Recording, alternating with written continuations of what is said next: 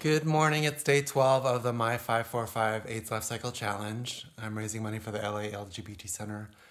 And happy Easter, everybody, um, to anybody who's watching. Um, thank you, Terry Miller, to, for your donation yesterday.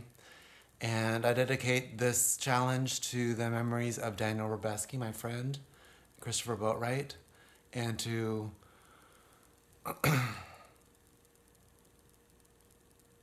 Carl Alexander Parsons. So here we go.